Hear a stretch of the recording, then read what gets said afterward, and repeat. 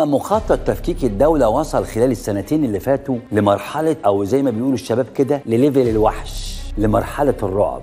تفكيك المؤسسات الأمنية بظهور العرجاني مهرب المخدرات واتحاد القبائل كبديل للجيش ونخنوخ كبديل للشرطة ومحمود السيسي وأخوه كبديل لمؤسسة المخابرات ووصول الكارثة لحد استنجاد المواطنين بنخنوخ الفتوة والعرجاني المواطنين بيتوسلوا لنخنوخ. إيه بقى النتيجة لكل ده؟ واحدة بتناشد الأخ نصير الغلابة نخنوخ وواحد بيناشد نصير الغلابة الشيخ إبراهيم العرجاني اللي هو لا شيخ ولا مهندس ولا أي حاجة مهرب مخدرات. النتيجة إيه بقى؟ النتيجة إنها بقت جمهورية البلطجة بقى انتشر البلطجية. كل ما نمشي خطوة نرجع ورا 20000 خطوة. الدولة دلوقتي أهو بلطجية. أدي بلطجي تحت حماية الشرطة وبقى له ترخيص شركة فالكون. وأدي بلطجي تحت حماية المخابرات والجيش وبقى له ترخيص اتحاد القبائل. هذا الرجل يا حضرات ماشي في خطة تفكيك الدولة. خطة تفكيك الدولة وصلت للسياسة اللي بدلت الأحزاب بمؤتمرات شباب وحوار وطني تافه. وكمان للسلطة الرابعة في الإعلام اللي تم تأميمها لصالح شركة اسمها المتحدة اللي هي بتاعت المخابرات. وأصبح دورها, دورها مستفز ضد الناس ضد مصالح الناس. دورها الشركة المتحدة هو تبرير جرائم السلطة وفشلها. الدين ومؤسساته في العمل الأهلي والأسواق والتجار. تقريبا كل حاجة اتعمل لها كيان موازي. يدار من السيسي وبلطجيته. تفكيك الدولة بقت مهمة السيسي. تطلع نماذج مشوهة بدل ما تدافع عن مصالح الشعب. تنفخ في الإيجو بتاع الزعيم. واتكلمنا عن إنجازاته اللي إحنا مش شايفينها. إنجازاته في تفكيك الدولة. إن البلد اللي بقى لها 7000 سنة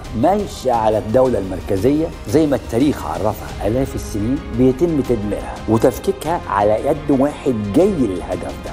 بيفك كل مسمار فيها. كل مؤسسة بيخربها بيفرغها بيضيع حق من حقوق المصريين. الست اللي ضربت نفسها بالجزمة لأنها طلعت انتخبته ثلاث مرات. أنا عايز أقول للهانم دي أو للست دي أنت أساسا أنت اللي ضيعتينا. أنت وأمثالك اللي ضيعتونا. كنا بنقف في الاستوديوهات دي أو حتى في تركيا ونقول لكم بلاش بلاش. كنتوا بتطلعوا بال 200 جنيه وبالكوبونات وبأزايز المية وأزايز عصير. كنتوا بتطلعوا تشتمونا بالأم والأب وإحنا بنقول لكم بلاش. إحنا اللي شايفين. الراجل ده خاين.